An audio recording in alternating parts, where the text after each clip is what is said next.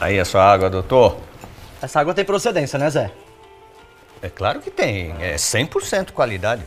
Ah, é que aqui do lado tá da distribuidora estão vendendo o mesmo galão de água com selo fiscal da Cefaz. Aqui não tem selinho, não? Selinho? É? Claro que tem. É porque eu não devo estar achando, mas deve tá ter um...